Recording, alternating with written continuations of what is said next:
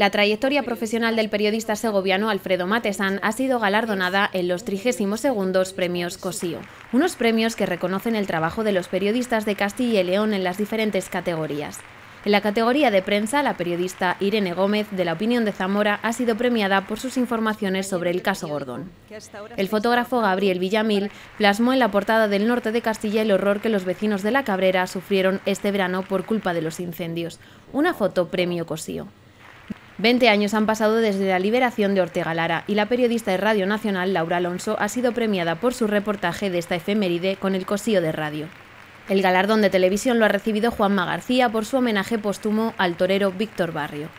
Cierran el palmarés de esta edición dos menciones especiales, una para los periodistas de Castilla y León Televisión por sus noticias sobre el acceso a la universidad y otra para el fotógrafo Fernando Blanco, quien inmortalizó el momento en el que un radical islámico interrumpía en una boda en Valladolid.